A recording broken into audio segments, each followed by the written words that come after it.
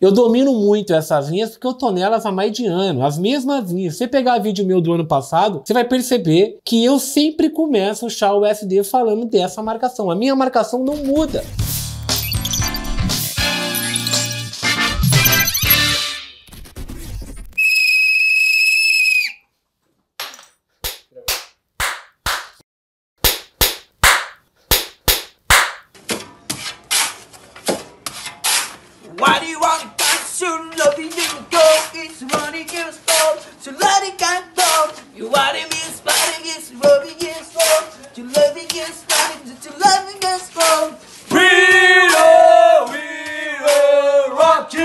Salve, salve, salve galerinha do meu canal do YouTube, Marcelo Ferreira com vocês, como é que vocês estão rapaziada? No vídeo de hoje eu vou te ensinar, hoje é terça-feira, hoje é 16 de agosto, nós já tivemos uma grande semana de surf em Shaw SD, o Shaw SD já movimentou bastante na semana, e hoje terça-feira o mercado já andou muito, é, é normal chegar o tipo de pergunta pra mim assim, Marcelão, entrei de novo na ordem, tomei um pau, devolvi o que eu ganhei, Marcelão, tô com medo de entrar de novo, Marcelão, devolvi o que eu ganhei, geralmente essa dica vai pra galera que entra, pega o seu ganho e acaba devolvendo o que ganhou. Muitas vezes porque opera na emoção e não tá olhando alguns fatores ali. Por isso que eu sempre falo, é importante você tá casado com a paridade, porque você começa a estar tá familiarizado com cada região que o mercado tá chegando, então você meio que já sabe ali como se deve comportar em cada região. Então, uma grande dica de, de primeira é: pega uma paridade, agora que você está aprendendo, e segue com ela por um tempo. Vai aprendendo a operar ela por um tempo. Depois você vai vendo outras paridades, tal, que você queira, mas vai por um tempo ali,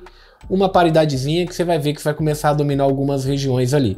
Beleza? Mas antes de eu te explicar sobre isso, deixa o seu like, compartilha o vídeo, se inscreva no canal, comenta aqui embaixo qualquer coisa, comenta aí para dar engajamento. Segue o Marcelão lá no Instagram também, arroba Marcelo Ferreira FX, tá bom? A corretora que opera é a corretora Rantec, link tá aqui embaixo. Muita gente me pergunta também sobre qual corretora eu tô operando e tal. Opera por Rantec.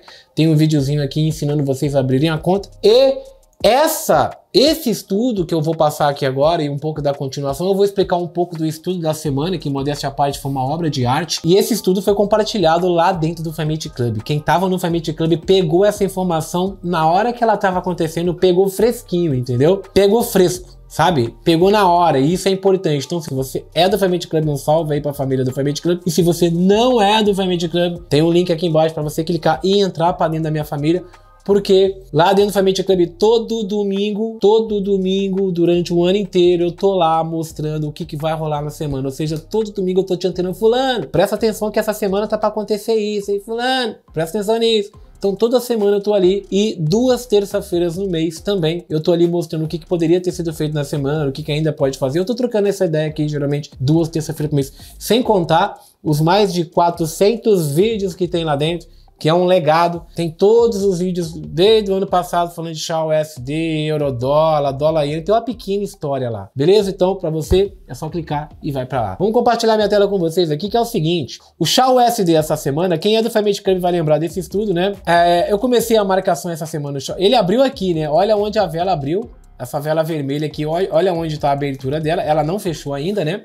E quando começou o Família de essa semana, nós estávamos exatamente aqui, muito perto do 1820. No meu tá dando 1821, que é o 50% daquela verona vermelha. Por isso que eu falei, cara, eu domino muito essas linhas porque eu tô nelas há mais de ano, as mesmas linhas. Se você pegar vídeo meu do ano passado, você vai perceber que eu sempre começo o chá USD falando dessa marcação. A minha marcação não muda e possivelmente também não vai mudar daqui uns anos. Vou ficar com ela, tá dando certo? Vou ficar com essa marcação aqui. Então, quando o mercado abriu domingo e eu já já vem acompanhando, para mim foi fácil. Eu olhei e falei, porra, quatro velas de alta, né? Mercado quatro semanas de alta já no semanal.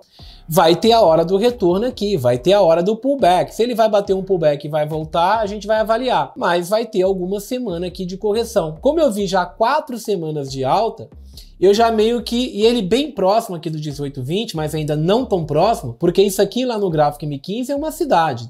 Tem uma distância grande aqui dessa linha até aqui no M15. Mas o que eu bati de olho, quem tava lá vai lembrar disso, é que eu tava meio cabreiro já para pensar em compra, né? Ainda não era uma situação muito boa para pensar em venda, mas para quem estava pensando em compra, a gente estava correndo o risco de ter uma semana ali de correção. E como que eu encontrei essa correção, né? Eu vim fracionando o meu gráfico. Aí o que que eu fiz? Eu vim descendo o meu gráfico até aqui, ó. Tá vendo 50%? Eu procurei os 50 dos 50 que deu aqui, ó. Vi que o preço ainda estava para cima. Como o preço estava para cima meio que no meio do caminho entre o 18,20 e o 50 dos 50, que é o 17,90, são dois valores que eu falo bastante. Se você me acompanha no Instagram, me acompanha minhas lives, se você acompanha o Marcelão e respira o Marcelão aí, você vai saber que desde o ano passado eu falo muito dessas regiões. Eu já, eu já tô mais de um ano falando ali do 18 18. No meu tá dando 18 21 agora, mas de algumas pessoas vai dar 18 20, às vezes 18 19, depende da marcação. Tá? Mas é o 50 da velona vermelha. Quando eu falar 18 18, é só para fixar na cabeça que é isso aqui, ó. Que é o 50 da velona vermelha, que da maioria vai dar 18, 18 alguma coisa. O 1762, que é o rabão da velona vermelha. O 1790, que é o 50 do 50, entre o 18. Olha como a gente trabalhou com ele o ano passado, né, cara? 18, 21, 1790 aqui no meio, de novo 18, 18, 1790, 1762.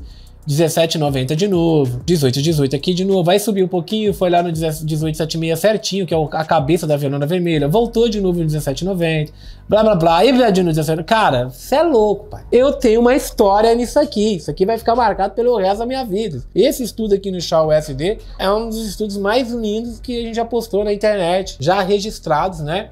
E com uma taxa de acerto assim, absurda ao longo do tempo. É, e aí o mercado caiu, né? Ele respeitou certinho 50% aqui para baixo do canal, voltou para cima de novo. Aí ele foi para cima de 17,62. Ficou ali uma, duas semanas para cima de 17,62. Essa semana, a quarta semana, ele abriu acima do 17,90. Perfeito?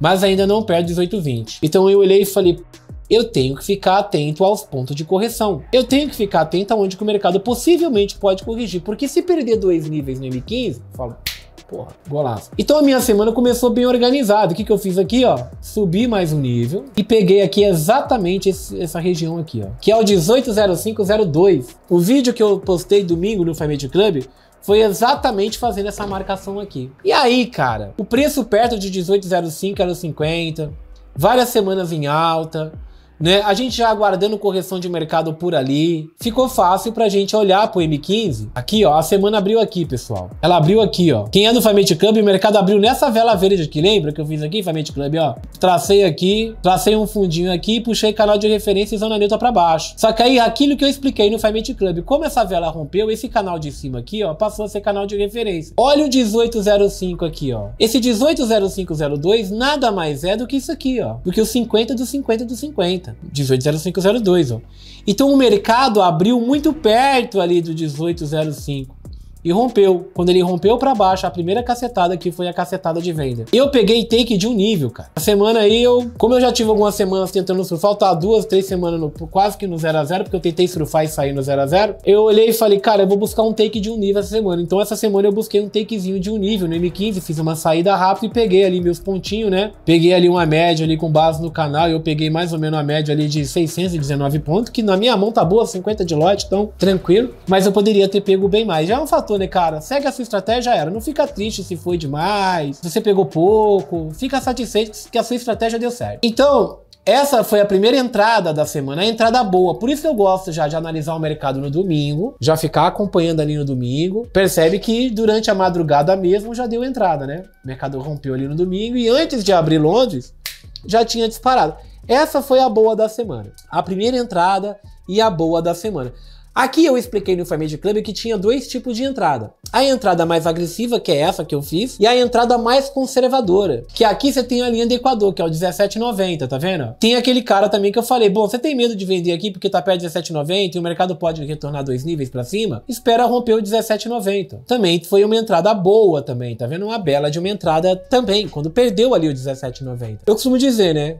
Chegou numa linha importante, eu só quero dois padrão. Ou o mercado bateu, rompeu e levou, ou ele voltar dois níveis e reverter em cima da linha. É isso que eu quero. Ah, mas eu entrei e voltou dois níveis e pegou o meu stop. Meu irmão, de quantas ordens que você entra que pega o stop. Entrou 10, pegou o stop duas vezes. Entrou 10. Cara, sabe por que pega o stop? Porque às vezes você tá executando o M15, aí vai lá no maldito do M1. Se a sua estratégia não era o M1, não fica mudando. Se antes você tá, pô, vou entrar no M15, vou sair no M15, vou colocar meu stop no M15, já era, vai dar gol. Às vezes você olha aqui e fala, pô, eu analisei o semanal, projetei no M15, executei no M15, mas o cara vai lá no M1 e traça no 0 a 0 Ou o mercado começa a voltar um pouquinho no M1, ele zera no dedo. Vai tomar mesmo, entendeu?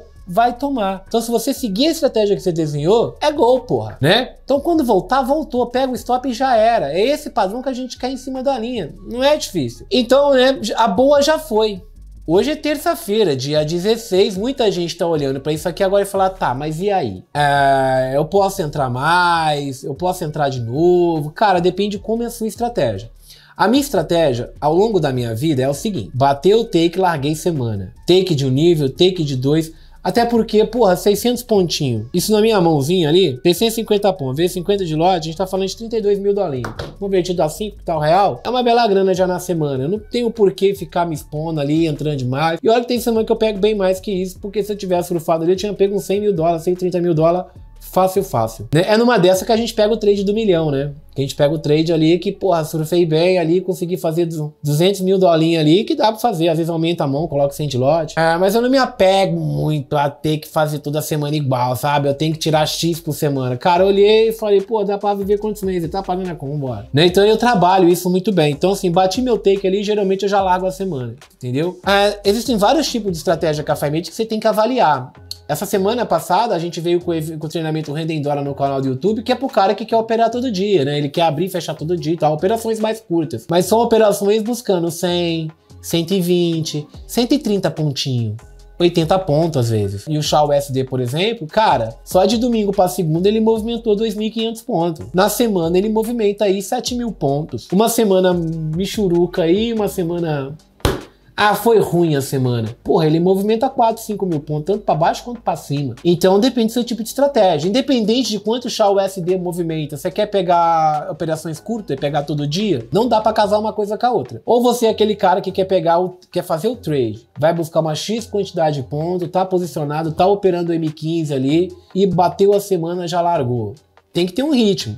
Então, se você está operando M15, por exemplo, esse vídeo aqui eu estou falando para o cara que está operando M15. Se está operando M15, por exemplo, e aí já pegou a boa da semana, vamos supor que você entrou aqui e já fez o seu take ali no 17,90, entrou, fez o seu take de dois níveis, ou dormiu, perdeu a oportunidade, não pegou e ficou com medo de entrar aqui no meio do caminho, aí o mercado lateralizou. Ou stop não tenha como, né? Porque aqui não teve como tomar stop.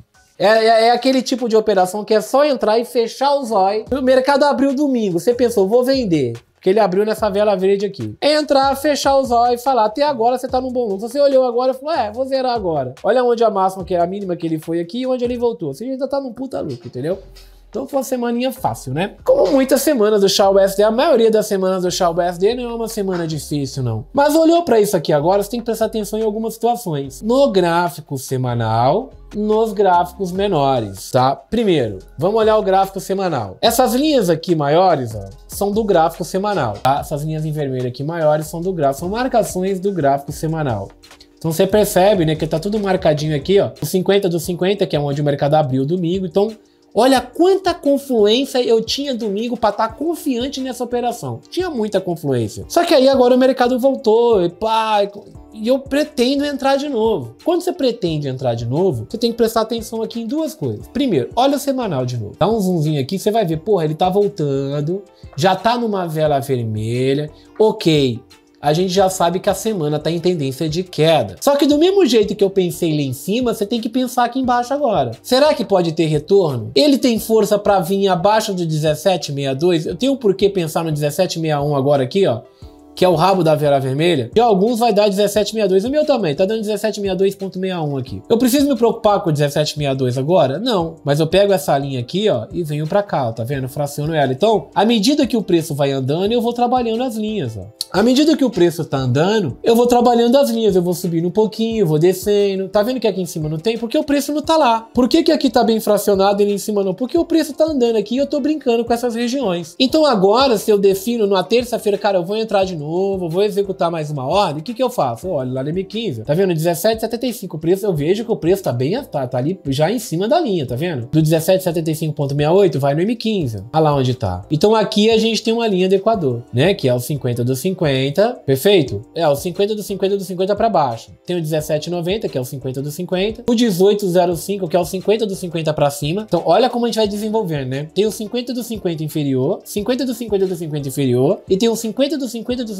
superior. E tem o 18,0 1821 aqui em cima, que é o 1818, que é o 50% da violona vermelha. O 1762 tá aqui, ó. Entre o 1790 e o 1762 eu tenho 50% aqui, que é o 50 do 50 do 50. Então, como que o preço tá ali agora? Bom, primeiro que eu posso pegar a mesma marcação de M15 aqui e vir descendo ela até onde tá o preço, né? Posso vir agora aqui descendo ela. Essa marcação foi de domingo, foi muito bem. Vem descendo. Eu vou, eu vou usar ela só como um parâmetro aqui. Vem descendo ela. Depois vocês podem configurar aí bonitinho e tal. Como aqui um vídeo rapidinho. Vem descendo ela. Vem descendo ela. Vem descendo ela. Olha que certinho. Matematicamente calculado, né, meu filho? Respeita mais que fio de mãe brava, ó. ó. Então o que, que nós temos aqui, ó? Canal de referência em zona neutra. Caso você esteja. É, primeiro, bateu meta da semana, cara. Bateu a meta da semana. Para. Fica aí um mês fazendo isso, dois meses. Depois você vai colocando aos poucos. Mas ao longo dos vídeos eu vou te explicando sobre isso. Mas assim, bateu meta, fica ali um mês ou dois seguindo. Bateu meta, eu vou parar. Bateu meta da semana, lá, vou fazer outras coisas. Aí depois você vai vendo, porque possivelmente você tá te devolvendo uma boa parte você ganhou já no começo da semana. E às vezes não é legal arriscar. Mas, por exemplo, caso eu fosse entrar numa segunda ordem aqui na semana. Primeiro, já teve várias ordens aqui. A boa da semana foi aqui, né? Canal de referência aqui em cima, zona neutra para baixo, então a boa da semana foi aqui. Aí no meio vai pintando mais entrar. Cada fundo desse aqui que perde, você tem uma boa. 17,90 foi uma boa. Vai perdendo fundo, você tá tendo aqui uma oportunidade. Aí você tem que analisar. Ele tá perdendo essa linha aqui, ó. Aonde que ele pretende caminhar? Porra, por 50% entre a próxima linha do semanal. Ah, tem um espaço para arriscar essa ordem, tá buscando lá, posso confiar? Aí você vai lá e executa. Percebe que o mercado não fica voltando dois níveis. Aí vai de novo, né? Da, da, da, da, da, da, Vai chegar uma hora que você vai tomar um stop, tá vendo? Quem entrou vendido aqui, por exemplo, o cara poderia ter tomado uma aqui quando voltou dois níveis. Percebe que o cara pode tentar no time errado. Então ele pegou a boa da semana. Saber filtrar o tiro da semana é muito importante pro Forex. Para quem opera assim um pouco mais né, preocupado com o gerenciamento da semana e tal, é muito importante. Então aqui, por exemplo, ó, eu já tenho o tiro bom foi lá em cima e possivelmente você poderia ter devolvido aqui embaixo. Mas aí o mercado continua, continua e deu aquela lateralização e caso você queira entrar novamente, tem que sempre analisar essas regiões, ó. Isso aqui agora é uma linha do Equador, ó, o 17,75, que é o 50% entre o 17,90 até o 17,62, que é o rabo da vela vermelha. O preço se mantendo para baixo, ele já rompeu canal de referência ali, o 50% aqui, por exemplo, eu posso socar uma venda, porque ele volta para a zona neutra, retorna para os 50%, e eu posso socar essa venda até onde? Take de um nível, take de dois níveis. É uma venda que faz sentido. Entendeu? É uma venda que faz sentido caso você queira entrar novamente. Chegou em cima dessa linha, eu vou entrar comprado? Aquilo que eu falei, eu não gosto de podar a galera que segue. Porque a FiMate é tão rica e eu chamo ela de a nova análise gráfica com muito carinho. Porque a partir da FiMate você desenvolve várias formas de operar vários jeitos. Não tem o que é melhor e o que é pior. Né? O problema é quando o cara se acha esperto. Mas, por exemplo, ali pro cara mais agressivo, ele tem uma compra, que ele tá traçando o a seco e tá comprando e vendendo no seco, né? Voltou do nível compra, voltou para baixo vende, plá, plá, plá. Vai dar muito certo também. Vai dar certo pra... Só que tem aquele cara mais discricionário, mais conservador, por exemplo. Pro gerenciamento da semana, por exemplo, eu evitaria a compra ali quando voltar a dois níveis. Por quê? Eu só vou pensar em compra agora no Shaw USD, eu só vou pensar em setup de compra quando o mercado tiver força para voltar o quê? Pelo menos essa semana essa semana, quando ele voltar para cima do 17,90.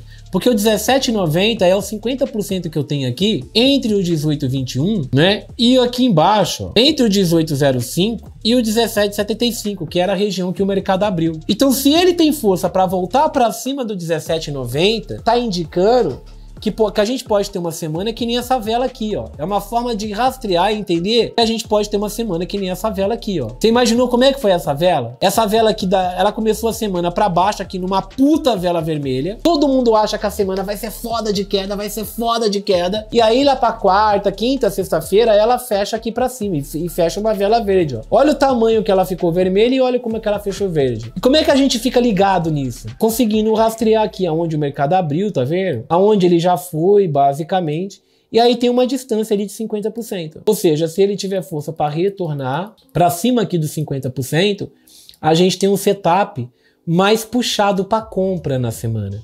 Então indica que o mercado está virando e aí possivelmente ele, tá, ele vai buscar uma semana para fechar mais em alta. Então aqui o 17,90 para mim seria é um rastreio para eu parar de pensar em compra. Então eu não penso em compra aqui por enquanto. Depois que vai, você vai olhar para trás e falar poderia ter entrado em... Olha a distância, né? Porque o cara tá falando, pô, esse filho da puta tá falando para mim começar a pensar em compra só em 17,90, sendo que vai romper lá de baixo. Ok, depois que passa e foi, é fácil. Mas quantos rompimentos pode não ter aqui, ó, de bobeira, porque a tendência ainda é de queda. E o mercado, para quem opera um minuto aqui, são operações boas e tal, porque dá para você bater o take lá no M1. Mas pra quem opera no M15, isso aqui é, é, stop. Então, às vezes, não compensa. Então, às vezes, é melhor você garimpar quando que ele vai entrar em força compradora. Aqui ele tá puxando o início de força compradora. Aqui ele entra literalmente em força compradora. Então, eu começaria a pensar em compra na semana somente aqui. Porque para mim é muito mais fácil eu, aguardar esse movimento aqui, ó. Voltou para a zona neutra, tá voltando no 50 do canal de referência e soca a venda. Voltou para a zona neutra, tá voltando no 50 do canal de referência, soca a venda. Então, às vezes é mais fácil eu procurar os pontos de retorno para queda, entendeu? É, que eu posso estar tá comprado, porra, numa semana que tem uma tendência muito forte de queda, ou ainda não me indicou ainda que depois de uma vela vermelha dessa que nem foi essa semana, é que o mercado ainda tá me indicando que agora ele vai subir. Então eu entro aqui literalmente quando ele mostra que já tá subindo, que já subiu e que ele vai mais ainda, que isso aqui é só o começo para semana ainda. Se, se isso aqui acontecer numa quarta, numa quinta-feira, são boas operações, por exemplo. Então eu utilizo muito desse filtro, né? É um dos filtros que eu utilizo. Nesses vídeos do YouTube eu vou compartilhando com vocês muitas dessas experiências que eu sempre lembrar aqui e passar para vocês. Quem tiver dúvida sobre mais coisa, pode colocar aqui embaixo também que a gente vai estar tá criando e gerando mais temas para tirar a dúvida de vocês. Mas o dilema é, Tome muito cuidado quando for operar novamente. Você já gastou a sua energia ali, para quem faz esse tipo de operação, que eu acho muito bom, que é o que eu faço, eu acredito que ninguém precisa mais do que isso. Cara, não é quantidade, não é quantidade, é qualidade. Pode ter cara, tem cara, a maioria eu sei disso. O cara abriu 10 ordens na semana. O cara que abriu um, pode ter certeza, ele ganhou mais dinheiro e ele tá muito melhor de saúde, física e mental do que o cara que abriu 10 ordens ali. E às vezes não tá tão positivo quanto o cara que abriu um, teve menos trabalho. Eu só dizer que a gente é pago para pensar. E literalmente, qual foi o meu trabalho essa semana? Ter entrado ali, eu fiz o estudo fresquinho com o Family Club, então quando eu fiz o traçado no Family Club, eu tava fazendo o meu traçado, eu tava compartilhando com eles exatamente o que, que eu iria fazer na semana, então foi muito puro esse estudo, e eu gastei minha energia ali fazendo esse estudo. Fui lá e executei a ordem, passei aquela pressão de sempre que todo mundo passa, zerei, acabou. Agora eu tô gastando energia, sabe como? Acompanhando o mercado sem a obrigação de entrar, já meio que me preparando para a próxima semana para dar mais um tiro foda. Então, enquanto a galera tá se matando, por isso que eu gosto de muitas vezes de analisar o mercado no domingo, executar o trade na segunda já ter fechado a minha semana. Porque enquanto a galera tá se matando ainda durante a semana, eu já tô aqui já na terça-feira, quarta, pensando no próximo passo da semana que vem. Eu já tô pensando no domingo de abertura. Eu não tô pensando, eu não tô preocupado com agora. Eu tô preocupado agora em ver como que vai se comportar para ver o domingo de abertura, para eu de novo descarregar. Vim, descarreguei e já era. É que nem um cara do atletismo. Ele treina, treina, treina. Ele vai lá, corre 10 segundinhos, acabou. Daqui quatro anos ele vai para a Olimpíada de novo. Aqui é basicamente a mesma coisa. Então preste muita atenção, mas caso for entrar, sempre dá uma olhada nessas linhas, dá uma olhada nas linhas certinho, vê se já buscou, vê se tem força para buscar ainda, se tá perdendo fundo ali, tá indo para mais. Se derreter, você vai perceber, vai perdendo fundo, você tá entrando e tá indo. Mas quando a semana já não vai ser tão forte assim mais para queda, você vai perceber o mercado meio que dando uma lateralizada, retornando dois níveis em cima de uma região. Aí você pode ser mais agressivo e executar ali, ou pode ser mais conservador e esperar ele chegar na região de força compradora, como eu mostrei aqui. Então essa saber jogar com essas linhas faz toda a diferença aí no teu operacional. Beleza? Deixa o like no vídeo aí, compartilha o vídeo, se inscreva no canal, o canal mais técnico do Brasil. Não tem canal mais técnico do que o nosso. Aqui o assunto de gráfico é literalmente gráfico. A grande estrela do meu canal é o gráfico, a grande estrela do meu canal é a Alphamate, enquanto de muitos canais aí a grande estrela é uma Mercedes, é um bonezinho da Mercedes, o cara compra, o cara compra carro, pai, bota boné da Mercedes agora. Lifestyle, né? Lifestyle. Nosso canal é focado em técnica. O meu único objetivo aqui é fazer você literalmente operar. Se você opera, se você vai lá e me marca, é um dos milhares que me marcam no Instagram todo dia operando, eu tive aí o meu dever cumprido. Então, se inscreve no canal pra gente aí, deixa o like, comenta aqui embaixo para ajudar a gente. Vamos que vamos. Até a próxima e tem.